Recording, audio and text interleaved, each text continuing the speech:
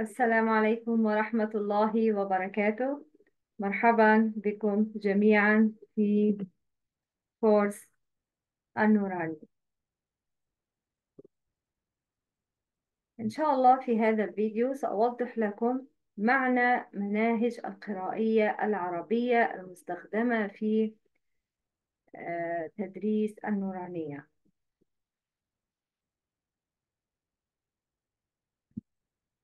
طبعا الكورس التابع لمنصتنا هو كورس آه، تعليم القاعدة النورانية. اسم الكورس النوراني كيفية تدريس النورانية للأعاجم.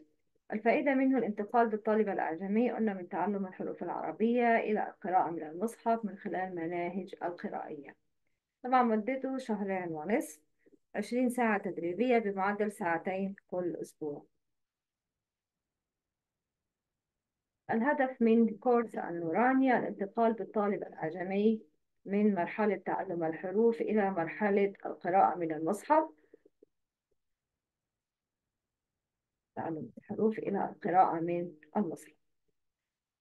آه هذا هو الفيديو الثاني في توضيح كورس النورانية في هذا الفيديو سأوضح لكم الوسيلة المستخدمة في الكورس وهي مناهج القرائية العربية.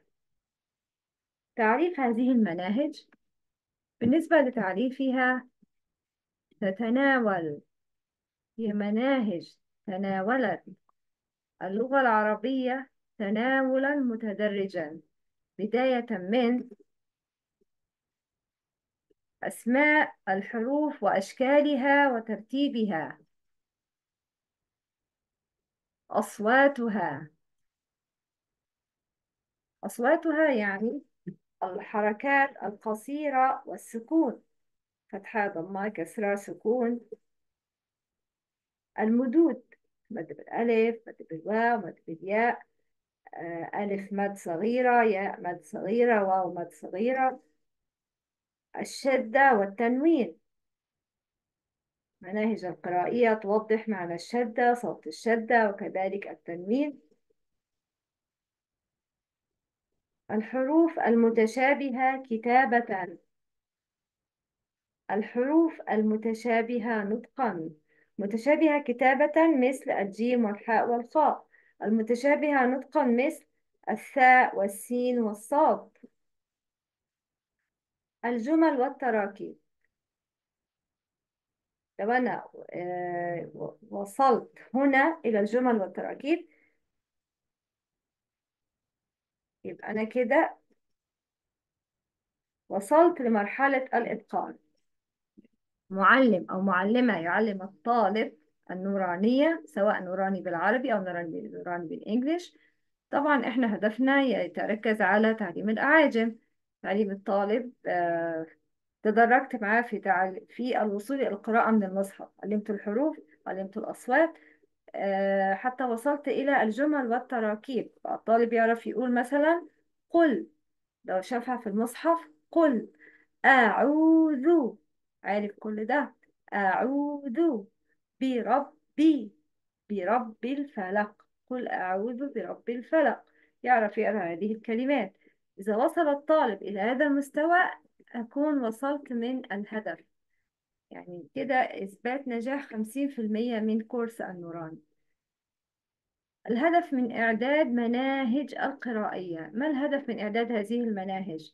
أولا تيسير قراءة القرآن الكريم على من لم يسبق له تعلم اللغة العربية من قبل. هذا هو الهدف من إعداد مناهج القرائية. أشهر مناهج القرائية أولا القاعدة النورانية للشيخ نور محمد حقاني أسست لتيسير تلاوة القرآن الكريم صاحبها غير عربي. لها شهرة واسعة في الهند وباكستان والوطن العربي أيضا. هي دي القاعدة النورانية وهي منتشرة في وطننا مصر. منهج نور البيان. للشيخ طارق السعيد. النسخة المطورة من نور البيان وهي فتح الرحمن. منة الرحمن في تعليم الأطفال القرآن. وهو برنامج متكامل يتناول تعليم التجويد. الطريقة البغدادية. صاحبها مصطفى الجندي. تتناول كلمات من القرآن ومن خارج القرآن. هي منهج تأسيسي لتعلم اللغة العربية. وهناك مناهج أخرى كثيرة. كده عرفنا تعريف مناهج القرائية الانتقال بالطالب من تعلم الحروف إلى القراءة من المصحف. ينتقل هو لا يدرك شيئا عن الحروف والحركات ثم ينتقل إلى القراءة من المصحف من خلال مناهج القرائية هذه المناهج ينفع الطالب يتعلم بها اللغة العربية؟ لا. مش اللغة العربية. دي مناهج تخدم تلاوة القرآن فقط. لكن اللغة العربية بقى ليها تراكيب المبتدأ والخبر جملة اسمية جملة فعلية.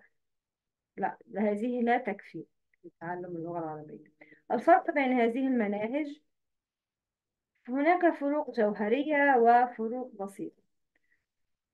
سنتناول معا أشهر هذه الفروق. أولا هناك بعض الاختلاف في طريقة تناول أسماء الحروف وترتيبها. يعني مثلا القاعدة النورانية تتناول أسماء الحروف دون إثبات الهمزة في آخر اسم الحرف. مثل كأن نقول ألف با تا ثا جا. نور البيان يثبت هذه الهمزة مثل ألف باء تاء ثاء وهكذا.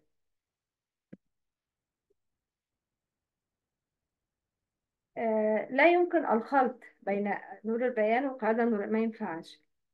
في ال... يعني مثلا ما ينفعش أقول للطالب ألف باء تاء ثاء ثم أكمل جيم حاء خاء يا إما أثبت الهمزة إما لا أثبتها. بالنسبة لترتيب الحروف الترتيب الألف بائي هو الأسهل والأكثر انتشارا في هذه المناهج. هناك مناهج تتناول الحروف تناولا بحسب المخرج. كأن تتناول حروف الحلق أولا همز ها عين حاء غين خاء أو الترتيب الأبجدي ألف باء جيم دال ها واو زاي.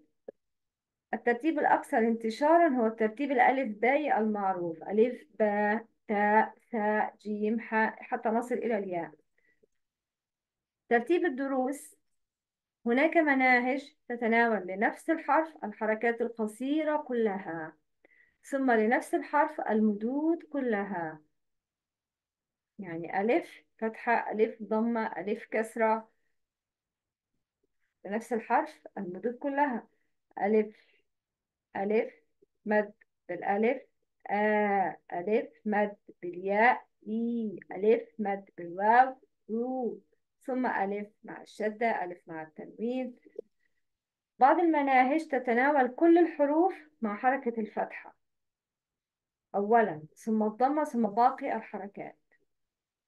وهذا المنهج هو الذي نستخدمه في منصتنا. بعض هذه المناهج يتناول السكون أولا قبل المدود وبعضها يؤخر السكون لما بعد دراسة المدود. أشهر الفروق بين هذه المناهج. هناك فروق محورية. أولا طريقة التهجي نفسها المحتوى كم المنهج وكثافته. بالنسبة لطريقة التهجي نفسها كل منهج من هذه المناهج اتبع طريقة معينة في تهجي الكلمات. مثلا كلمة الحمد. هناك منهج يذكر التفاصيل مثل القاعدة النورانية. عندما نقوم بتهجي هذه الكلمة الحمد نقول همزة فتحة لام سكون ال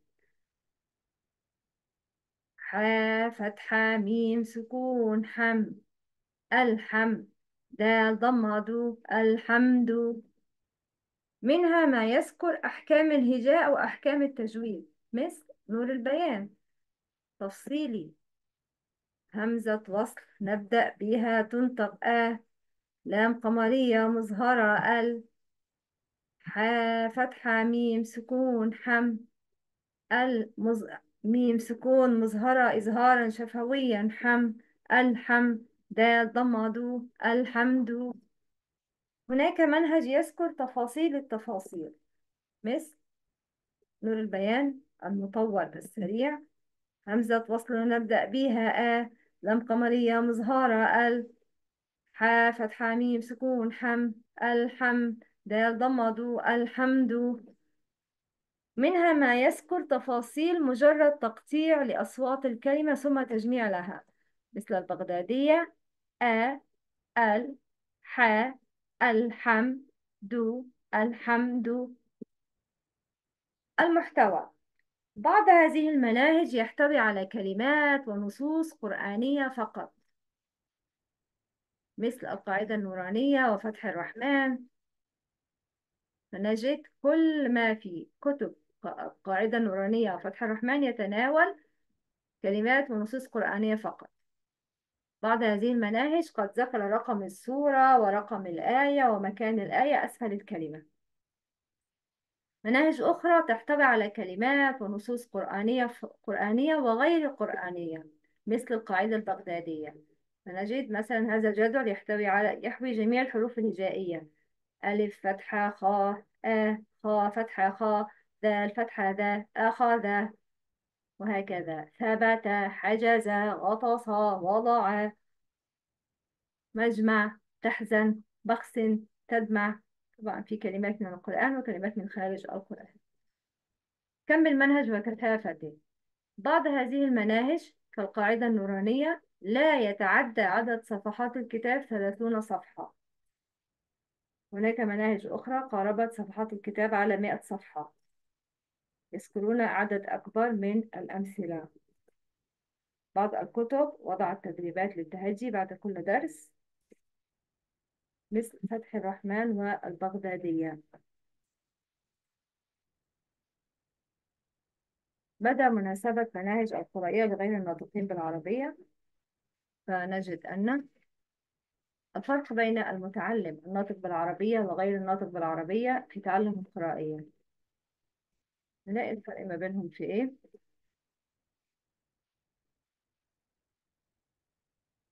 نشوف أربع آه، فروقات المتعلم الناطق بالعربية. عنده ثروة لغوية من مفردات اللغة. يعني لو قلت له مثلا آه،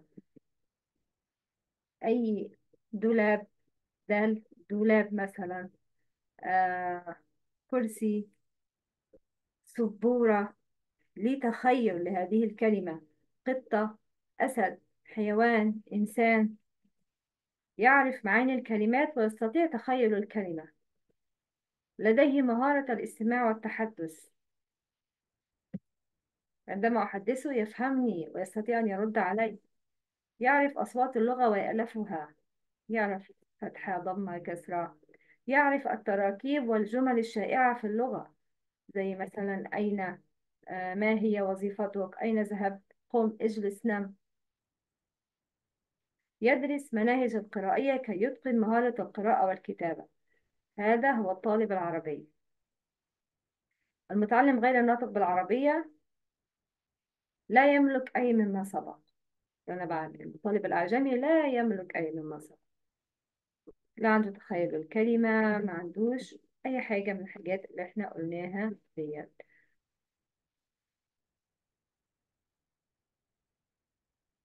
أي من هذه المناهج يتناسب مع غير الناطقين بالعربية.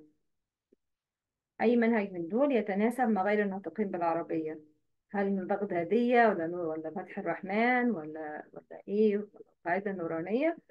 صلاحها أو عدم صلاحها يتوقف على المعلم. هذا يتوقف على المعلم. المعلم هو الذي يضع الخطة. ترتيب دروس القرائية العربية في حال تدريسها لغير الناطقين بالعربية. ترتيبها يعني إحنا شرحناه في فيديو سابق. المفروض إن الطالب في نهاية الكورس الطالب الأعجمي آه، يكون قد تدرب على نطق جميع الأصوات في اللغة العربية ويبدأ بعدها في قراءة التدريبات القرآنية قراءة متقنة خالية من اللحون الجلية وهذا هو الهدف طبعا. وطبعا أنتقل بالطالب إلى المستوى المتوسط وهو القراءة من المصحف بدون لحن جلي. مميزات هذا المنهج منهج القرائية الذي نستخدمه هو منهج فتح الرحمن. منها ما يذكر أحكام الهجاء وأحكام التجويد. هذا هو المنهج الذي نستخدمه. منها ما يذكر أحكام الهجاء وأحكام التجويد. نور البيان يثبت هذه الهمزة مثل ألف باء تاء ثاء وهكذا الترتيب الأكثر انتشارا هو ترتيب الألف بائي المعروف. بعض المناهج تتناول كل الحروف مع حركة الفتحة أولا ثم الضمة ثم باقي الحركات. أمور لابد من مراعاتها عند تدريس القرائية للأعاجم. في حاجات لازم أخد بالي منها لما أجي أدرس منهج القرائية للأعاجم. أولا التركيز على الهدف. أبقى مركز مركز سواء معلم أو معلمة أركز على الهدف. أنا هدفي إن الطالب ده في النهاية يقرأ القرآن بدون لحن جلي. الهدف ده هدف بعيد المدى. عندي أهداف قصيرة المدى. من أول محاضرة هدفي إن الطالب ده يعرف حرف الألف. اسمه في أول الكلمة وسط الكلمة نهاية الكلمة شكله. خلص الألف كده هدف اتحقق. أنتقل إلى الباء أنتقل إلى التاء أنتقل إلى الساء وهكذا. الهدف هو الوصول إلى قراءة القرآن الكريم قراءة سليمة. طب لو الطالب لم يتقن الكتابة وأتقن القراءة لا بأس. ما ضيعش وقتي في الكتابة لأن ده قلنا منهج قرائية وليس منهج تعليم اللغة العربية هناك فرق. نطق الأصوات الصحيحة من حيث الحركة ومن حيث صفة الحرف ده هدف طبعا لازم أركز عليه. لما يجي أدرس الطالب إيه آه، آه، أدرس الطالب منهج القرائية إن أنا ينطق الأصوات الصحيحة. آ با تا ثا ويعمل إيه؟ آه، اكتمال لل- للنطق اكتمال للحركة. ألف فتحة آ مثلا أعوذ.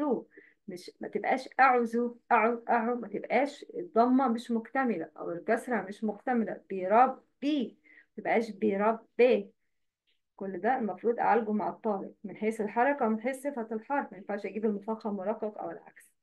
استخدام لغة الطالب المقابلة يعني حرف الدال دي. in English دي. دبي دبي إس سين ذال ثو زاي زد. التلاوة بالتلقين المفروض الطالب طبعا يردد ورائي قصار السور ولا ننتظر الانتهاء من القرائية لا من بداية خالص. أعلمه الألف أفتح المصحف وأقول استخرج الألف. أعلمه الباء استخرج الباء. أبدأ أقول يقول ورايا حتى مثلا سورة الفاتحة عشان هو هيصلي بيها. قصار السور يحتاجها في حياته.